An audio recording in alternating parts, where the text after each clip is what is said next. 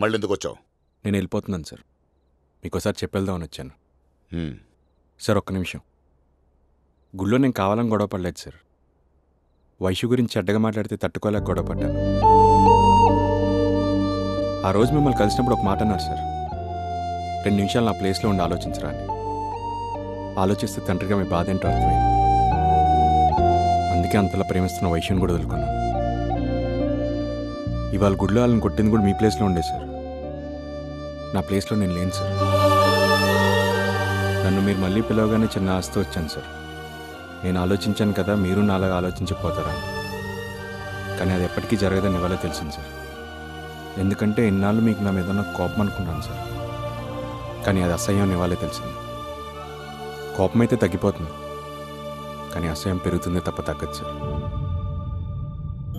నేను పుట్టినప్పటి నుంచి ఏ ఎఫెక్షన్స్ రిలేషన్స్ తెలియకుండా పెరిగాను సార్. అందుకే పెద్ద ఫ్యామిలీ అమ్మాయిని చేసుకుంటే అవన్నీ దొరుకుతాయని ఆశపడ్డాను. కానీ నా ఆలోచన నా ప్రేమను నాకు దూరం చేసేస్తుందని అప్పుడు నాకు తెలియదు సార్. చిన్నప్పటి నుంచి నేను చాలామంది కొట్టాను నన్ను చాలామంది కొట్టాను నాకు ఎప్పుడు ఏం అనిపించలేదు సార్. ఎందుకో మీరు కొట్టిన దగ్గర నుంచి బాగా ఏడుపు వస్తుంది సార్.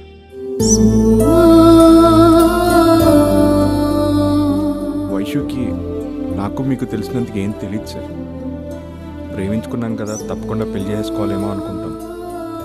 కానీ దానివల్ల ఏం జరుగుతుందో మీకు నాకే తెలుసు. మీరు మీ అక్క జీవితంలో చూశారు. నేను నా జీవితంలో చూస్తూనే ఉన్నాను.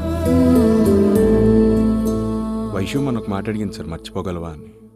తనే నా జీవితం అయినప్పుడు ఎలా మర్చిపోగలను సార్? నేను పోయేటప్పుడు నా చుట్టూ నలుగురు లేకపోతే నా తప్పు అవుతుంది కానీ పుట్టేటప్పుడు లేకపోతే నా తప్పు ఎలా అవుతుంది సార్? కనీసం ఇది చెప్పుకునే అవకాశం కూడా మీరు నాకు ఇవ్వలేదు. వైషు నన్ను క్షమించమని చెప్పండి సార్.